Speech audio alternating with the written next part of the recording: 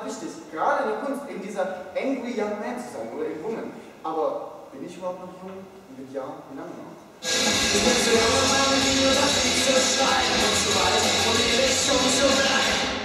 Mit 20 kann man vielleicht noch irgendeinen Scheiß machen. Auf die Bühne scheißen oder den nächsten Ruhm haben. Aber mit 30, 40, da muss man doch im Leben stehen, Karriere gemacht haben oder zumindest.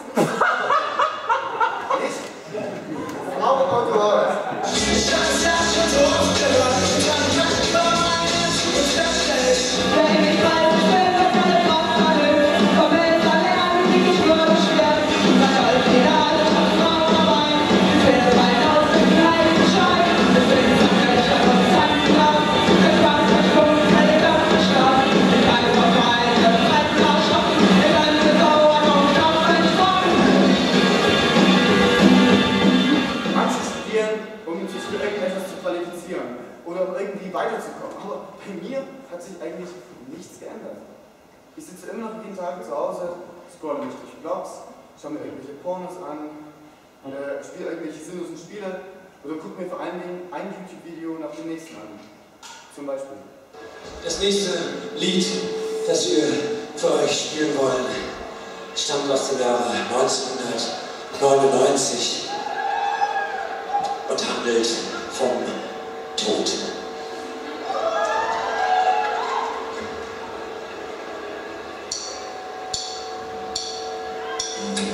Du dir über das Älterwerden Gedanken? Ähm, ja, schon. Also ich, ich hatte immer so ein bisschen, zu- zum Beispiel in meiner Band da und Dirk gemeint, also ich finde das ja sehr schön, wenn man, dass man älter wird und, und ich bin da eigentlich so begeistert, bin ich da nicht. Ich finde ich finde schon, also ich neige schon, glaube ich, zu Melancholie und Nostalgie, auch wenn die Zeit damals nicht unbedingt schöner war, als ich dann jung war. Also wenn ich mir überlege, wenn ich so Geburtstag für 30 bin, da wäre ich schon ein bisschen melancholisch. Ich ging weiter und wusste nicht, was ich tun sollte. Nach all den Jahren wusste ich nicht, wie ich reagieren sollte. Ich konnte ihn doch nicht einfach ansprechen. Ich war ja auch schon alt und er war es auch schon. Ich habe ihn noch einmal zu ihm umgedreht und er sich auch zu mir und er hat kurz gelächelt, so wie er früher gelächelt hat. Aber dann sind wir beide weitergegangen. Aber warum denn, Oma? Warum habt ihr euch nicht angesprochen? Michael, ich weiß es nicht. Es war uns zu spät. Wir haben uns verpasst. Das Universum expandiert. Das Universum ist ein expandierendes. Der Raum breitet sich aus. Warum breitet sich der Raum aus? Kann ich nur sagen, das wissen wir nicht. Es hat zwar angefangen, aber wir können über den wirklichen Anfang des Universums können wir überhaupt nichts sagen. Gar nichts. Was an dem Tag ohne gestern passiert, Das werden wir niemals wirklich wissen. Letztlich kommen wir alle tatsächlich aus dem Nichts. Als ich ähm, deine Biografie, deinen Lebenslauf, das, was so, was so über dich zusammengetragen wurde, ähm, einen, eigentlich einen leicht traurigen Menschen erlebt. Einen, bei dem sich die kleine Traurigkeit durchs Leben zieht. Das ist auch keine kleine Traurigkeit, das ist ein ausgewachsene, äh, ausgewachsenes Problem, das ich versucht habe, durch Humor zu kompensieren.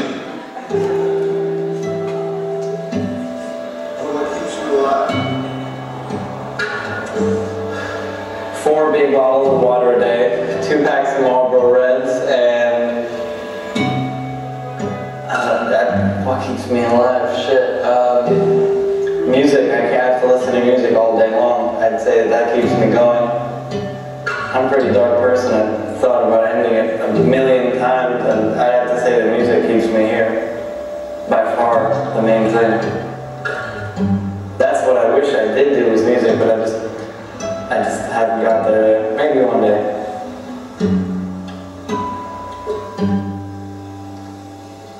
Wenn ich abtrete, äh, wenn ich gehen müsste, dann müsste ich das auch nur deshalb können, weil ich dann eben sage, ich gehe, äh, ich will was erforschen. Ich kann mir nicht einfach nur die Augen zumachen, das war's, das geht nicht. Das ist mir, das ist mir eine grundeigene Art von Denken falsch. Man kann hier nicht einfach nur abhauen und, und, und sagen, jetzt bin ich im Himmel angekommen oder sonst was und alles ist glücklich und gehe noch ein paar Mal zum Grab.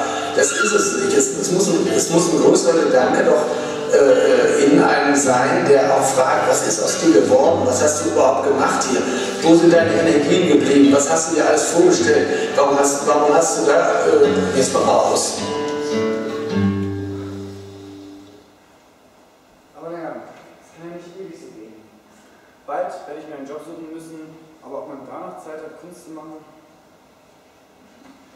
Manchmal liege ich abends nur stundenlang wach und grübel über meine nicht vorhandene Zukunft nach.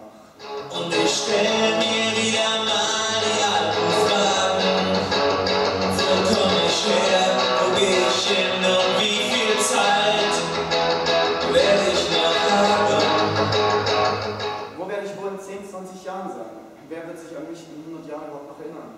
Werde ich es überhaupt bis 40 schaffen? Ich habe irgendwo mal aus Scheiß auf so einer Webseite mein Sterbedatum ausrechnen lassen und das war 21.02.2063. Also heute in 49 Jahren. Ja, ist natürlich Quatsch, aber man kann das Ganze ja schon eingrenzen. 2060, 2080, 2090, alle spätestens 2090 bin ich tot. Und der Wahnsinn ist ja eigentlich, dass alle, die jetzt hier im Raum befinden, dass man mit großer Sicherheit sagen kann, oder mit absoluter Sicherheit, dass alle 90, äh, 2099 tot sein werden. Und der eigentliche Wahnsinn ist ja, dass dieses Schicksal früher oder später jeden treffen wird. Jeden, den man liebt, jeden, den man mag, jeden, den man irgendwo mal gesehen hat oder von dem man irgendwann mal gehört hat. Harald Lesch, Nadine Erdbeerkäse, der Sektor von Fugazi, der, der das Foto gemacht hat. Naja, halt einfach jeder. Irgendwann geht die Batterie der Uhr leer und man weiß nie, wann und wie. So zum Beispiel bei Felix González Torres, der 1996 dann an AIDS gestorben ist.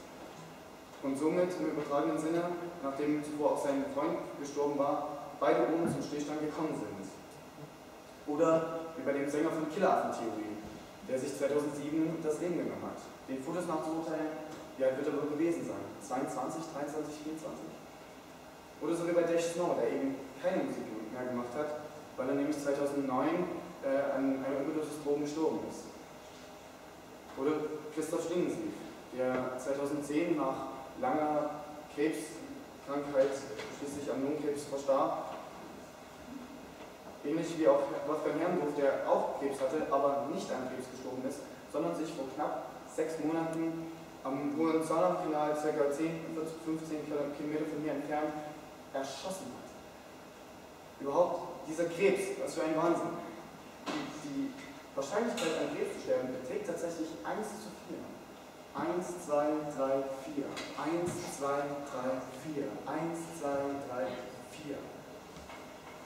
Es gibt einen Songtext der Band Euro, der auch dieses Thema behandelt und den möchte ich jetzt als letzten Songtext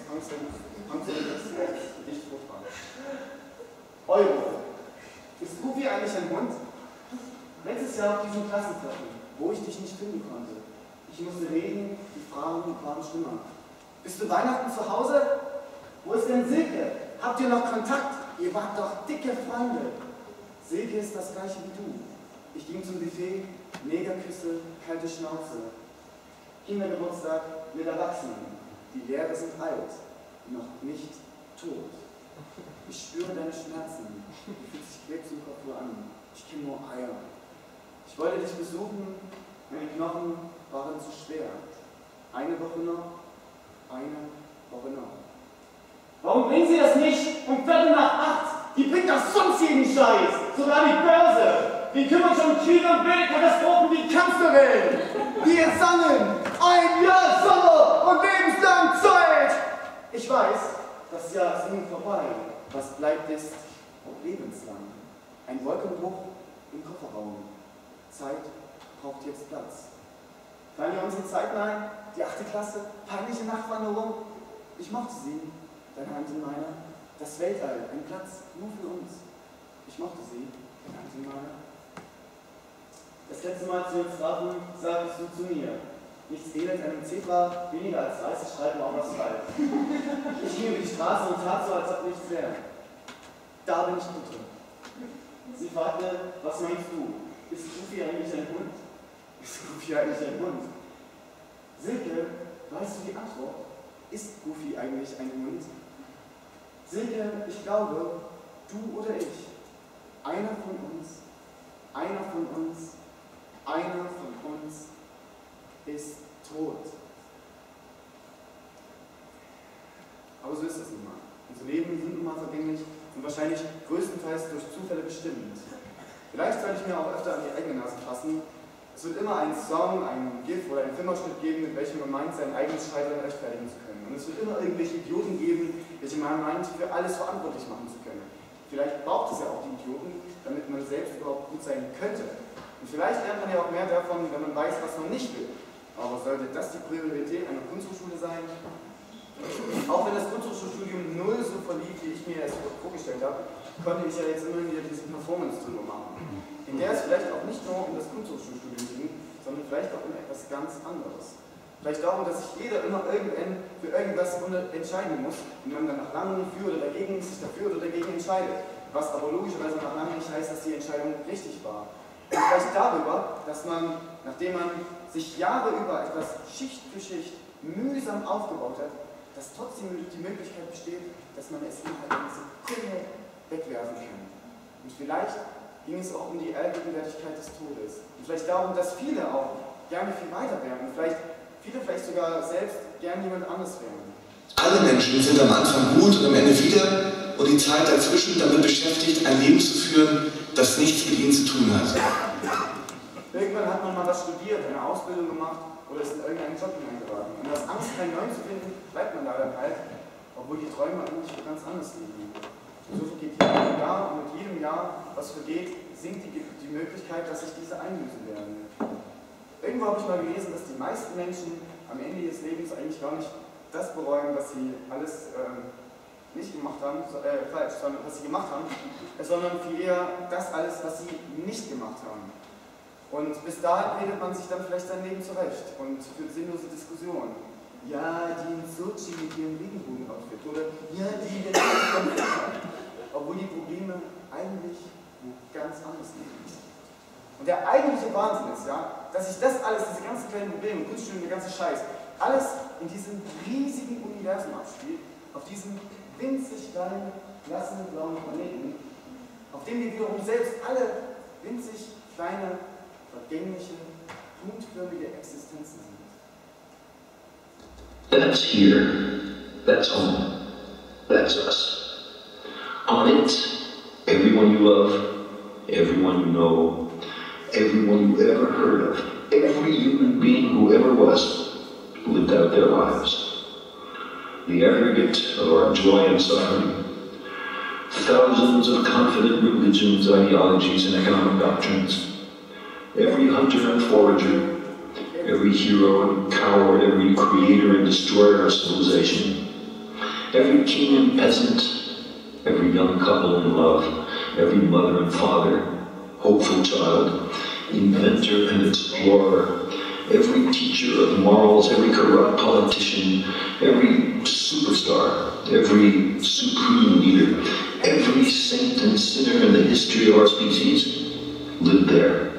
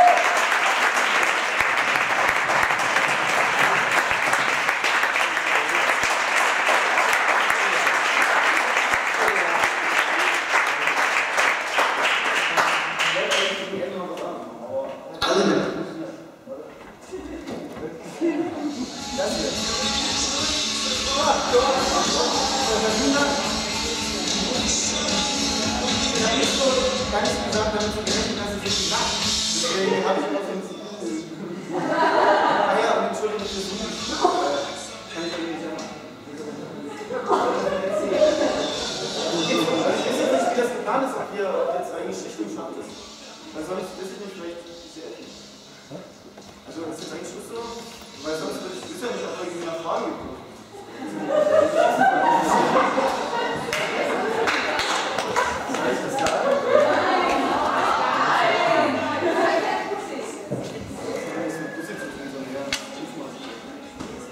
Kunsthochschule Berlin, weiß ich Malerei.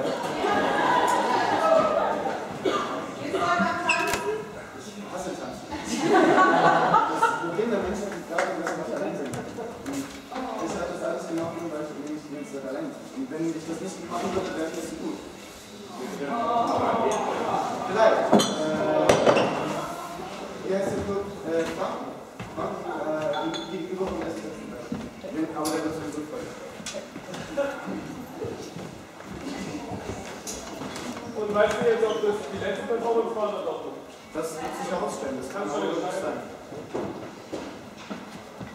Ja, das stimmt